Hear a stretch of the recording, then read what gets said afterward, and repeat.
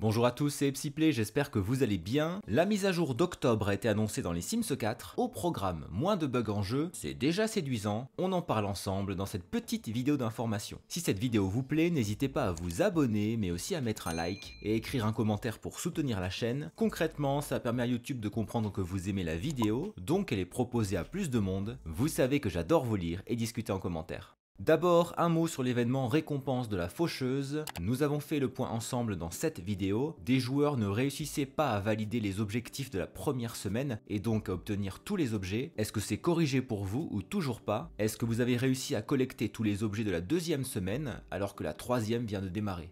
La du 8 octobre nous annonce un certain nombre de correctifs de bugs. Il est rappelé sur le site des Sims que ces correctifs sont directement liés au signalement des joueurs et que l'équipe du jeu a pris l'engagement de résoudre les défis techniques et notamment les bugs. Depuis mai 2024, c'est une priorité pour EA de corriger les bugs. Elle le fait tous les deux mois dans une grosse mise à jour et il a été annoncé que cela allait continuer jusqu'à nouvel ordre. C'est bien. Il est aussi rappelé que certains problèmes peuvent nécessiter plus de temps pour être solutionnés et qu'il faut bien supprimer ces modes en cas de mise à jour car ils peuvent entrer en conflit avec la mage. Dans le détail, deux correctifs sur console, les images des objets brodés ne sont plus en gris dans Vie à la campagne et les puzzles de grandir ensemble ne sont plus en noir et blanc sur PlayStation. Dans le jeu de base, 23 correctifs, les Sims ne mangent plus de nourriture gâtée de façon autonome, les interactions ne s'accumulent plus dans la file d'attente si elles sont provoquées par des poules. C'est quoi ces poules de l'enfer? Les Sims se ferment complètement les yeux lorsque la situation l'implique, par exemple pendant leur sommeil flippant. Les Sims parents ne sont plus coincés devant les berceaux, les Sims PNJ n'entrent plus sur le terrain sans avoir frappé à la porte, les livres sur les compétences sont disponibles dans toutes les bibliothèques, les plantes qui ont assez d'eau arrêtent de mourir, on peut donner un pourboire au livreur de pizza, et les nounous ne sont plus invisibles. Les Sims ne vieillissent plus de façon incorrecte lorsque vous réglez les options de vieillissement du jeu, vous aviez été plusieurs à signaler ce bug euh, horrible. Le bébé ne tourne plus en boucle à cause d'un bug, des correctifs pour les textures de toit, pour les clôtures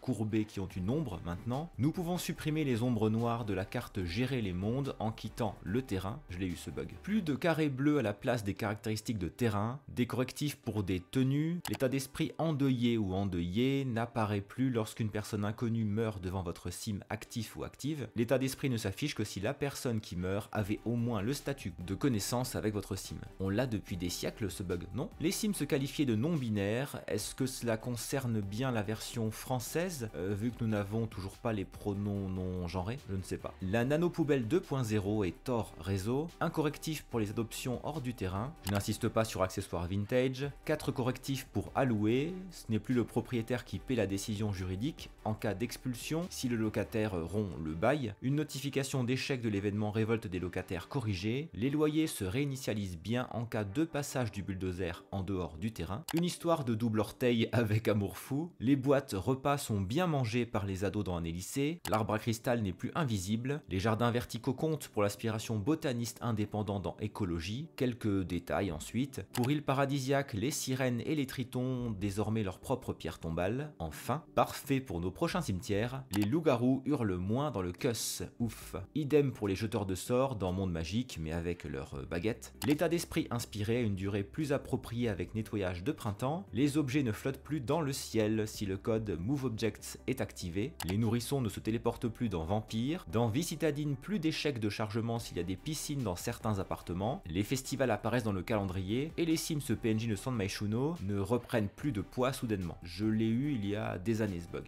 Et un correctif avec l'état d'esprit, mauvais produit de ranch. Pas de date pour la mise à jour, elle devrait intervenir au plus tard le mardi 29 octobre, deux jours avant la sortie de la nouvelle extension, à moins que cela ne soit plus tôt. Alors, elle vous satisfait cette liste de correctifs bugs Est-ce que vous avez relevé d'autres bugs importants dans vos parties? N'oubliez pas le petit like de soutien. Merci beaucoup d'avoir regardé cette vidéo jusqu'au bout. On se retrouve en commentaire. À très bientôt.